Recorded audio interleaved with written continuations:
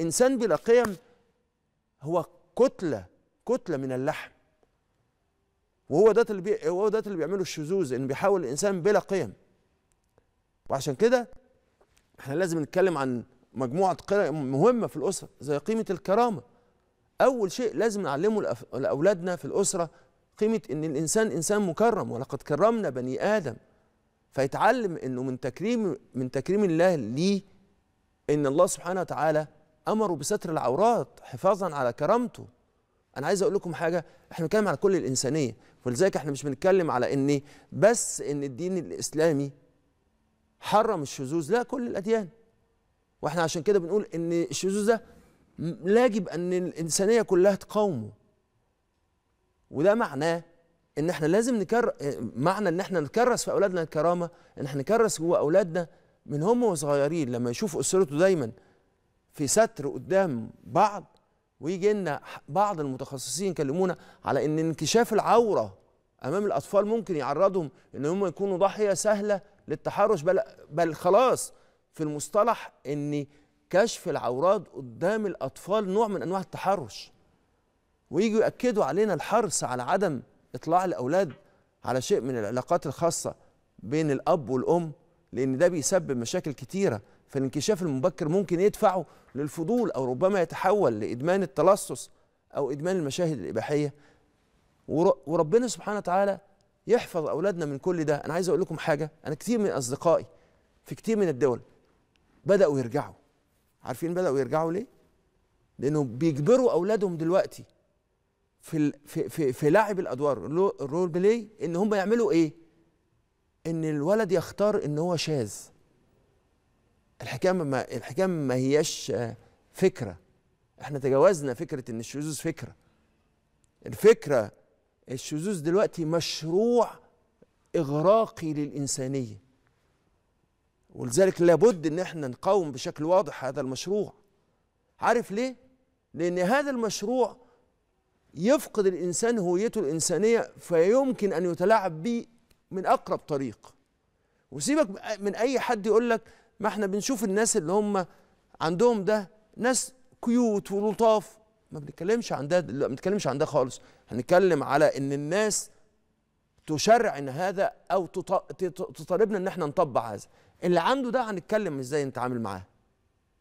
بس أنت ما تحاولش ابدا ولن نسمح بأي حال من الأحوال إن حد يحاول يعمل تطبيع مع ما هو اسمه تطبيع برضه. ما هو كل دوت اسمه تطبيع. لذلك الحفاظ على الك... على قيمة الكرامة ده أصل مهم في عافية الأسرة. وأكيد أكيد أكيد الشذوذ ما فيهوش كرامة. ولذلك لازم يبقى في احتشام في الأسرة. تاني قيمة قيمة المحبة. فاكرين لما اتكلمنا قبل كده وقلنا إن المحبة عبارة عن ثلاث عن عن عن أربع حاجات الأمان والاهتمام والاحترام والتقدير. أو التلا... أو الأربع حاجات دول كفيلة إن هم يجعلوا الأسرة مرعية من مرعية من أي شيء ومحصنة من أي شيء. لأن الاربع حاجات دي لما الأولاد بيتربوا عليها بيتربوا على الأمان يتربوا على الاهتمام يتربوا على الاحترام يتربوا على التقدير هيحبوا ويحترموا ويقدروا ويهتموا. وكمان هويتهم الجنسية هتبقى هيحترموا هويتهم وهوية الجنسية للآخر. ويقدروا نعمة الأنوثة ويقدروا نعمة الذكورة.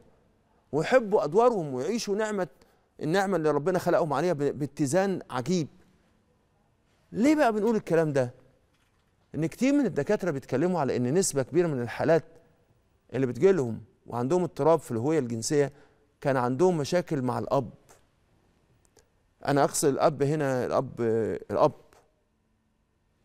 يا إما الأب كان غايب وأهملهم فما كانش عندهم ثقة بنفسهم وعندهم جوع عاطفي فممكن ده يكون عامل في ممارسة سلوك جنسي شاذ أو إنهم يكونوا ضحية للتحرش خاصة لو ما كانش في حد بيعرض بي بي بي بي بيعرضهم لحنان بديل وبيعوض دور الأب. كمان لما بتغيب المحبة والاحترام من بين الأب والأم زي ما لما الأب يبص لمراته باحتقار ويعاملها بعنف أو لو كانت الأم متسلطة بشدة فده ممكن يخلي الأولاد يكرهوا هويتهم الجنسية فلو كانت بنت تكره إن هي بنت عشان شايفة إن الأنوثة مهانة فتسترجل أو إنها تكره النموذج الذكوري من الأساس. كمان لما ما يكونش في احترام للأولاد بيساعد في كره الهوية الجنسية. زي ما نقول للبنت أنت بنت أنت؟ ونتريق على مظهرها ولا نقول للولد أنت مالك كده مايص كده ليه؟ لما نعمل كده مع أولادنا ساعات بيقولوا طب خلاص يستبيعوا. هي تكون تقوم بدور ال- ال- الولد ويحصل لها الاضطراب في الهوية الجنسية. وذلك حضرة النبي صلى الله عليه وسلم علمنا مبدأ مهم جدا نعيش بيه داخل الأسرة وهو غرس القبول. لازم نق... لازم نتقبل أولادنا. لما جه الأعراب لحضرة النبي فقال أتقبلون صبيانكم؟ فقال فقال صلى الله عليه وسلم نعم. فقال ف...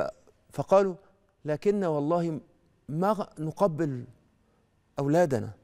قال صلى الله عليه وسلم أو أملك إن كان الله قد نزع الرحمة من قلبك؟ عشان كده لازم نعمل الكلام ده. يبقى أول حاجة لما اتكلمنا اتكلمنا بشكل واضح على إن إحنا لازم بشكل واضح يكون عندنا اتزان لازم يكون عندنا محبة لازم يكون عندنا قيمة الاتزان.